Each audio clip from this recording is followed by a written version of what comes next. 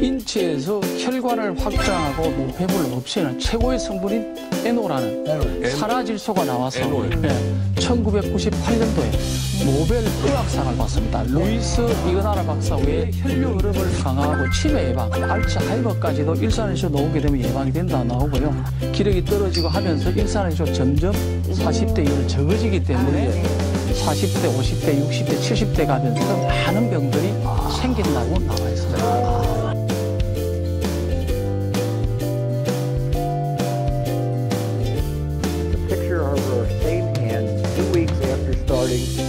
Infrared light therapy. It was given three times a week, 25 minutes each treatment in someone's office. The results at two weeks, as you can see that one finger, the ulcer is virtually gone. The beauty is we took an infrared pad and just treated the right hand side and then it does increase nitric oxide, it does improve circulation. It might be useful in situations like this. This 88-year-old lady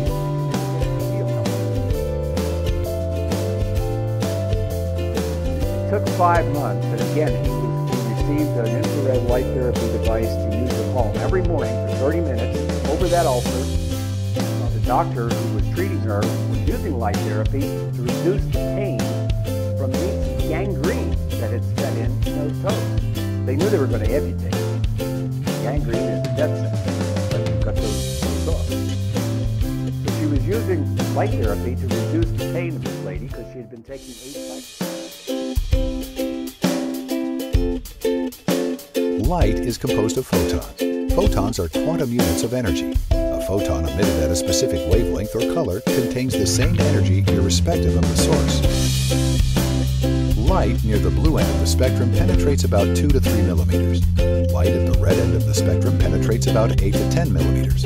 And near infrared light penetrates about 20 to 100 millimeters. Near infrared light is more energetic than visible light, less resistant to reflection and absorption, and therefore penetrates soft tissue to a deeper level.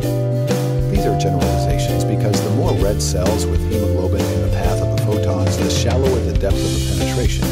Remember, hemoglobin absorbs the near infrared light energy, thereby releasing nitric oxide.